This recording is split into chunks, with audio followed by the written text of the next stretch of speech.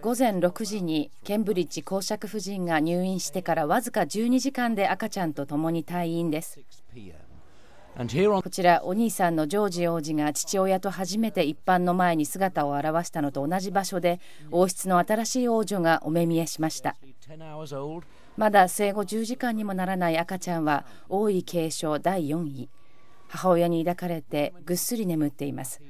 ウィリアム王子とキャサリン妃はやはり幸せそうにリラックスした様子です。安産だったそうで1年9ヶ月前のジョージ王子の時よりもずっと速やかな出産でした。ご夫妻はカメラの前でポーズをとり集まった人たちに手を振りました。けれども肌寒い夕方ということもありジョージ王子の時のように報道陣とのんびり話したりはせず数分後には病院スタッフに挨拶するため中に入りました。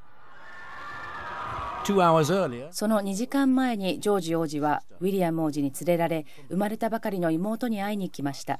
ジョージ王子は歩こうとしましたがあまりに騒がしく大勢の人がいたせいかちょっと無理そうになり父親がすぐ抱き上げました。そしてその後手を振ったのです。おそらくイギリス国内の公の場では初めてのことです。もうすぐ2歳の王子はそうやって妹に会いに行きました。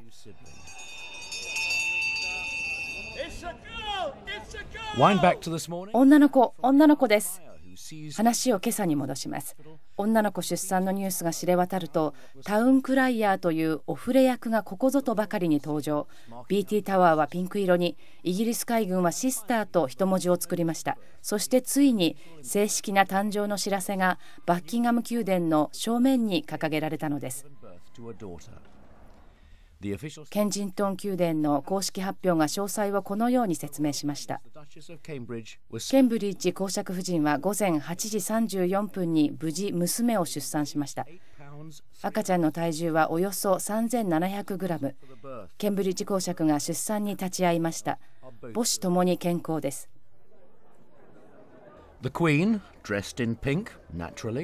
5番目のひ孫誕生が発表されて間もなく女王はヨークシャーでもちろんピンクの服で行事に参加されました。王室一同皆大喜びだとのことです。こちら再びロンドンセントメアリー病院の外です。この日を待ちわびて何日も野宿していた人たちは大喜びです。可愛い王女様女の子素敵です。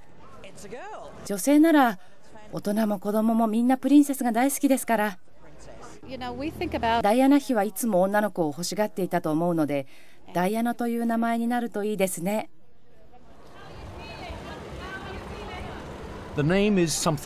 名前の発表はまだ少し先です。ただし、エリザベス、ビクトリア、どんな名前を両親が選んだとしても、生まれたばかりのこの赤ちゃんはこれから生涯ずっと大勢の注目を浴び続ける、それは確かです。St Mary's Hospital.